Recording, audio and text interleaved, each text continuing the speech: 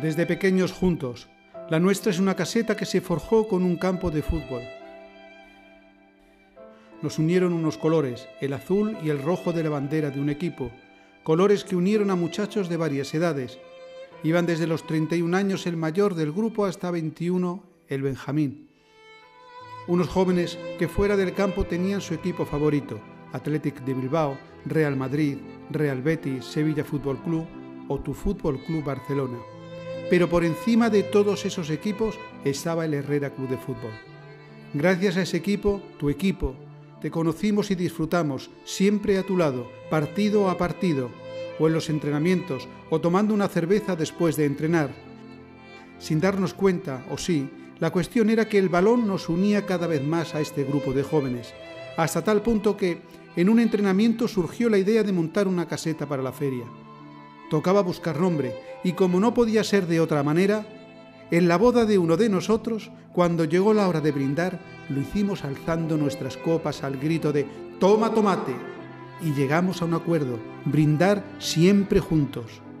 Amigo Antonio, a partir de ahora, y cuando volvamos a brindar como prometimos aquel día, alzaremos más alto que nunca nuestros brazos, para que nuestras copas brinden con la tuya desde el cielo. ¿Cómo nos recordar el primer montaje de la caseta? Fue un caos pero a partir de ese día todos los montajes fueron ordenados, deseando terminar para tomar algo juntos.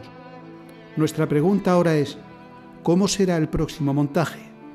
Te buscaremos con la mirada perdida, tragando saliva y sin duda será el montaje más silencioso y largo de todos. Como decía, los montajes posteriores fueron de lujo.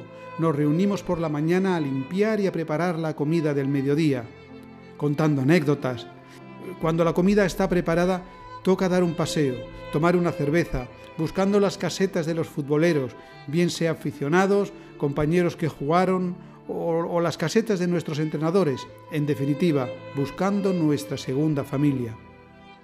Antonio, vivías intensamente la feria de mediodía, cómo la disfrutabas, la que más te gustaba, con la familia y amigos, incontables. Muchas veces llegabas tarde a la comida, el motivo era que te habían parado por donde pasabas y si no había comida tu frase favorita era no pasa nada. Siempre encargado de que no nos faltara el congelado para comer y por supuesto de elaborar algunos de los postres que hacías junto a los de las mujeres, postres que ellas no podían pasar sin comer, auténticos dulces.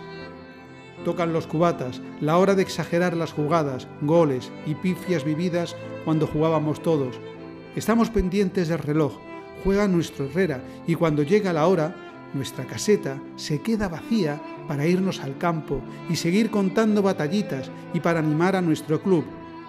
Ese campo nos unió y lo sigue haciendo, sin darnos cuenta. Sabemos que de aquí en adelante, cuando volvamos al campo, tú no estarás, pero tu nombre sonará por cada rincón, recordando a una gran persona y un gran compañero. Serán muchos los que orgullosos dirán, Alconada fue mi amigo.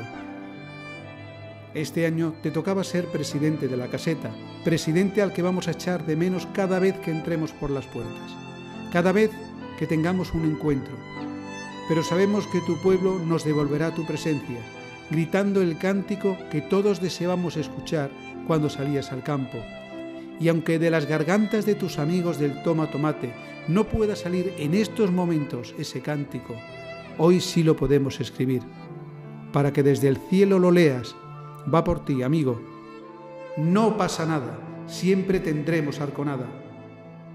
Antonio, a nuestros nietos les diremos que nuestro mejor juguete fue un balón, balón que nos presentó, balón que nos regaló tu amistad, balón que nos dio la oportunidad de tenerte a nuestro lado. Hasta siempre, amigo.